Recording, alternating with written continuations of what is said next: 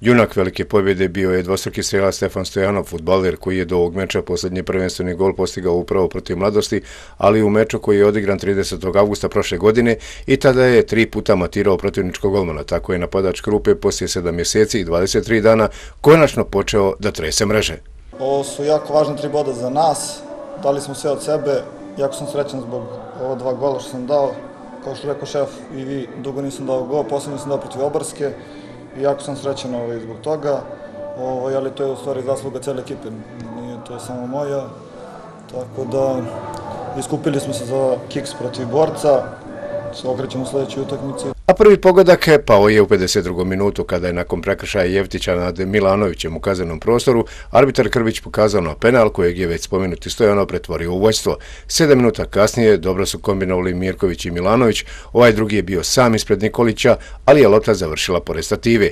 Veliko slavlje domaćih igrača i navijača usledilo je u 61. minutu. Ljubenović je bio u ulozi asistenta, Stojanov je bio na pravom mjestu za 2-0. U sudijskoj nadoknadi vremena rezervista gostiju Živanović uspio je samo da ublaži porad svog tima. Trener gostiju bio je ljut na sudiju Zorana Grbića, koji je po njegovom mišljenju nije dozvoljavao od njegove ekipi da razvije igru, ali je prije svega čestitao rivalu na pobjedi. Ne razumijem zašto danas nije sudio sudija, bilo koji sudija iz prve lige koji sudi, nego dođe sudija iz premije lige da ovdje svira kako on svira.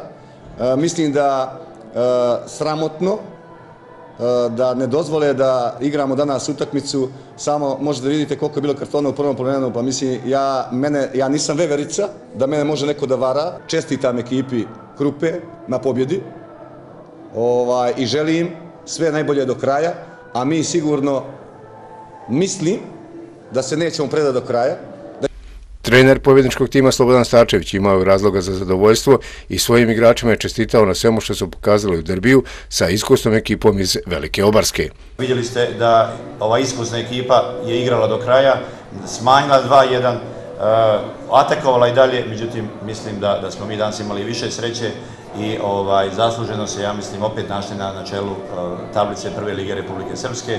Ja sam rekao sad u oni, mi smo napravili jedan korak, to jest e, ovo nam je drugi korak u play-offu, imamo još osam koraka, znači napravili smo veliki korak, ali još imamo osam koraka.